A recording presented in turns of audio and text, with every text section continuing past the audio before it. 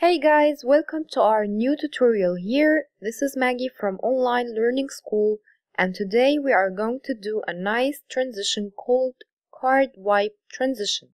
You can use it for text, you can also use it for pictures. So let's get started. Alright, so here what we are going to do now.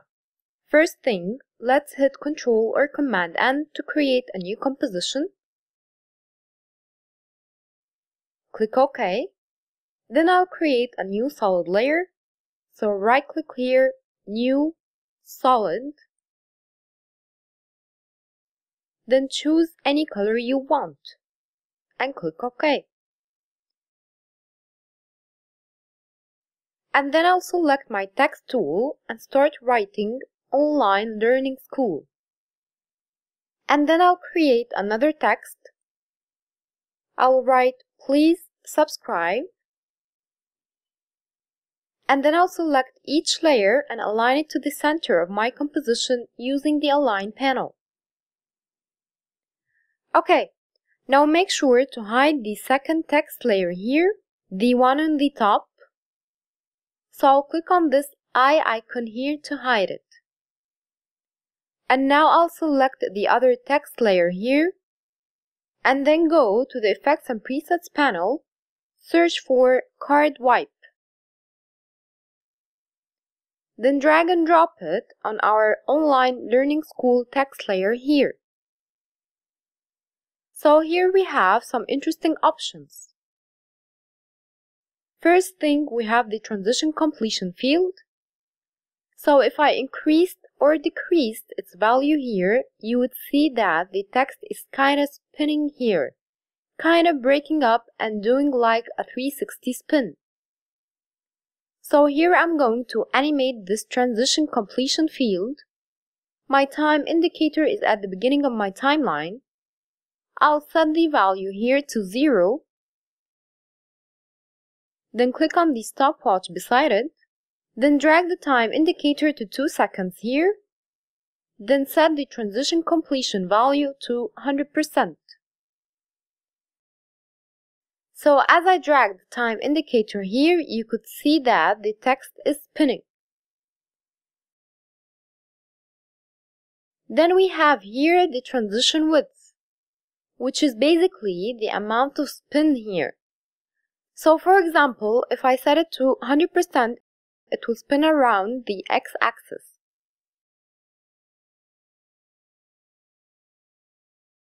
And if I drag down its value to say 9% or something, it will do like a subtle increment. So for now, I will set the transition width to 50%. And here we want the back layer to be the please subscribe text layer, which is our other text layer here. So as I drag the time indicator, you could see here it will start off as online learning school and then it wipes out to our second text layer here. Then we have here in the options, we have rows and columns. And this to control how many breaking lines do you want. You can make it like this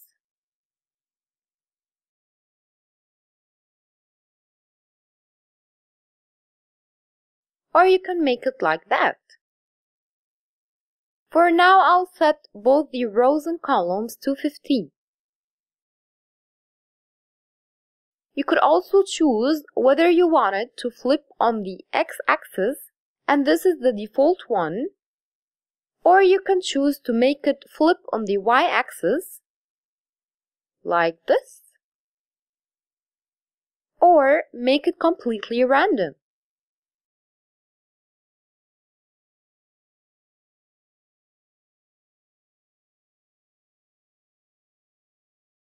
I'll leave it random for now. You could also play around with the rest of the elements and options that you have here, like the flip direction, flip order, then click on the RAM preview and see how your text will wipes out to the next one. Just play around with each option here and see the changes you get on your text and choose what suits you the best. Okay, so what I want to do now is that I'm going to select our text layer at the bottom here, then duplicate it using Control or Command D. Make sure the copy is placed at the bottom, so I'll drag it here. I'll hide the top one for now. Select the other one, then change the text color. Choose any color you want. Okay, now I'll get the other text layer back again. I'll make it visible. I'll select both layers and hit U on keyboard to get our keyframes here. I'll select all the keyframes and drag them a little bit forward, say to one second. And then I'll drag these keyframes of this text layer a little bit more forward here like this. Now I'll drag my time indicator to this keyframe, then hit Alt open bracket to cut this layer to the time indicator. Then I'll drag my time indicator to this last keyframe here. Select the second layer here and hit Alt close bracket to cut the layer to the time indicator. Now I'll select this top text layer, the please subscribe one, and hit open bracket on my keyboard to move the layer in point to the time indicator. And last thing, I'll cut this layer too by hitting Alt close bracket. Now I'll click on the eye icon here beside the please subscribe text layer to make it visible. And now I'll show you what we have so far by clicking on the RAM preview. So as you can see here, we got a nice colorful text-to-text card wipe transition. And as I mentioned before, you could also use this transition for pictures. Alright, so this is so far an overview about the card wipe effect, which is a very interesting and wonderful effect and you can do some nice things with. Thank you so much for watching. Please subscribe to our channel for more upcoming tutorials. And if you want to check out my full courses, please check out the links in the video description below. I hope you have learned something new from this tutorial. Please tell me in the comments below what are your most favorite effects that you always use and whether you are going to give this effect a try or not. Thank you so much and looking forward to seeing you again.